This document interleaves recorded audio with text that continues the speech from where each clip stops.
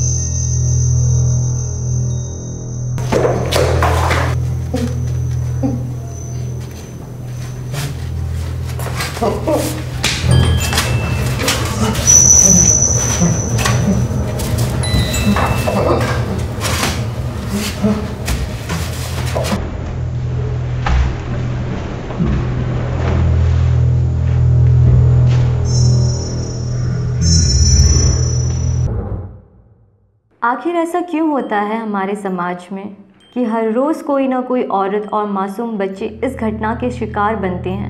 हमारी क्या गलती है क्या औरत होकर पैदा होना ही हमारी गलती है? मुझे आज जवाब चाहिए, किसी और से नहीं, आपसे और सिर्फ़ आपसे। बताइए मुझे, आप मुझ जैसे औरतों को और मासूम बच्चों को न्याय कैसे दिलवाएँगे और क्या न्याय दिलवाएँगे? क्या सज़ा दिलवाने से ये सब बंद हो जाएगा? अगर सज़ा दिलवाने से मुझे न्याय मिलता और वो लोग बदल जाते तो आज तक ये सब बंद क्यों नहीं हुआ? रोज़ इन जैसे हज़ारों दरिंदों को सज़ा मिलती है। तो फिर आज तक क्यों नहीं बदले और समाज में बदलाव क्यों नहीं आया? आज मुझे आप लोगों से जवाब चाहिए। बताइए मुझे, आप उसे सज़ा तो दिलवा सकते हैं संविधान के अनुसार, पर मुझे न्याय कैसे मिलेगा? क्या मेरा नाम और खोई हुई इज़्ज़त वापस मिलेगी? क्या मैं लोगों की नज़र में उठ खड़ी हो पाऊँगी? या फिर लोग मेरे बारे में बात करना और ताने माना छोड़ देंगे? मुझे तो लगता है ये उनकी बातें नहीं, उनकी गंदी सोच है।